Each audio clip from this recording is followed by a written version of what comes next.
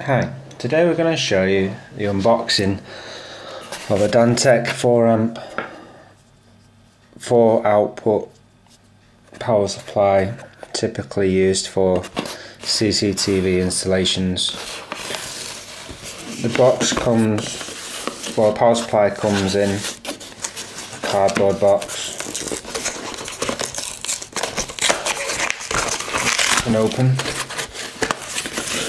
on the front it tells you the spec for the power supply.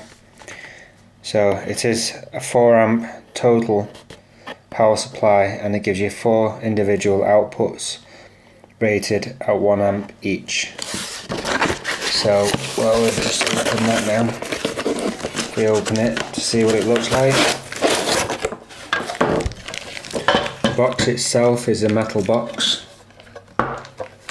tells you what voltage it uses on the front. And it's just got two screws on the top there to take the lid off. So I'm just going to use a small screwdriver and open it up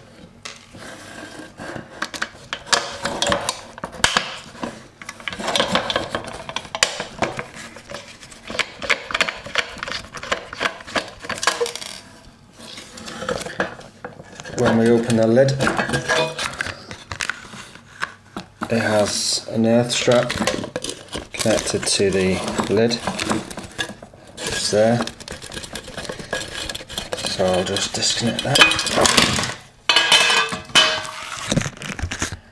And then inside you just get a list of alternate power supplies that they do. You also get given a 20mm open grommet. You get a 20mm compression gland and some plugs and screws with it to actually fasten it to the wall. Inside we have your mains terminal which has got a pull out fuse there.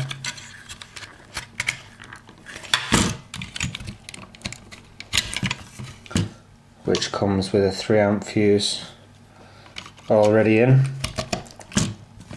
And then it gives us your four individually fused outputs there. So you've got output 1 output 2 output 3 and output 4 again just in case you ever forget what is actually what is the power supply?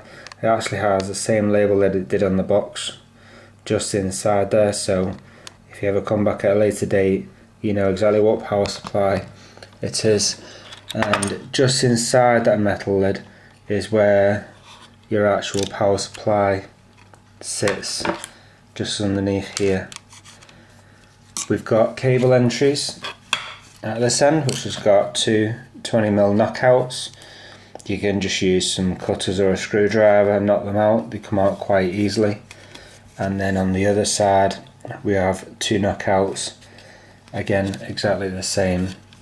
There are some small holes in the back which are here and here which I guess you could use to bring some small cables through. Um, there's no real markings on the back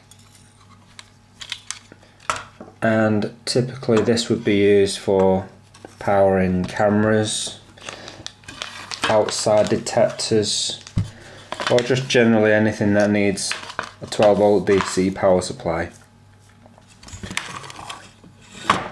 I hope that was of use to you. Thanks.